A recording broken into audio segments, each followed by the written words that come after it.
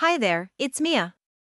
Today, we are introducing TCXC's AAA API. The AAA server does just as its name suggests it authenticates or validates subscribers and their credentials, verifies what services and QoS each subscriber is authorized to access, and ensures proper accounting so that customers are accurately billed for the services they use. Authentication The first step in AAA security is authentication. It serves as the first line of defense in protecting network resources against fraud and identity theft, employing multimodal authentication methods.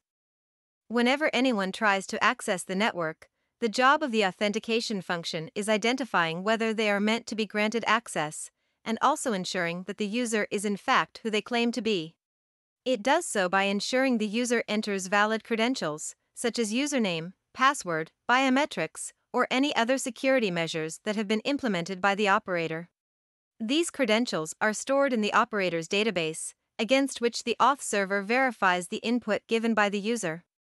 This database is constantly updated and monitored by network and system administrators.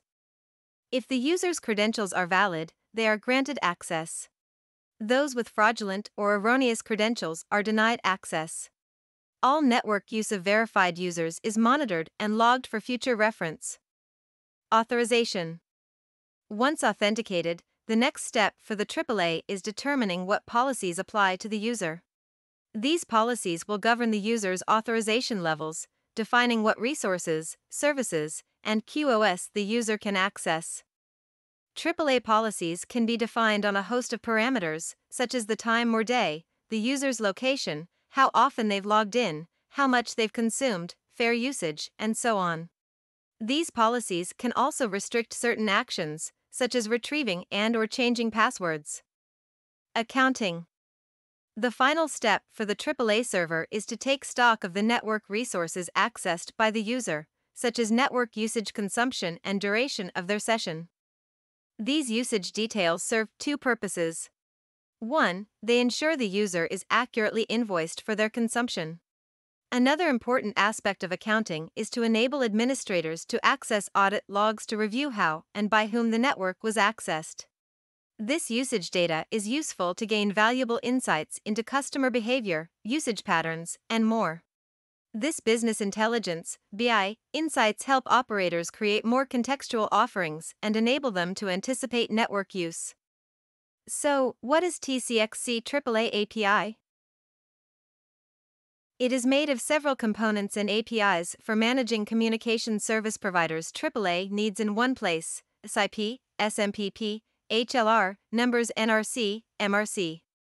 After over a decade of internally developing and using the TCXC AAA to authenticate, authorize, and account for billions of transactions accurately and successfully, we have decided to invest in exposing the AAA as an application programming interface to trusted third party telecom developers to unlock new possibilities for operators modernizing their network using different flavors of CPaaS middleware.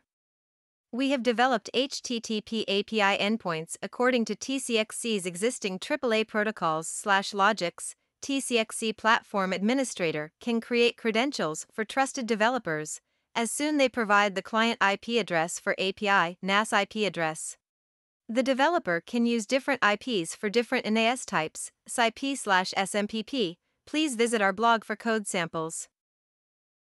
Thanks for watching, see you in the next video.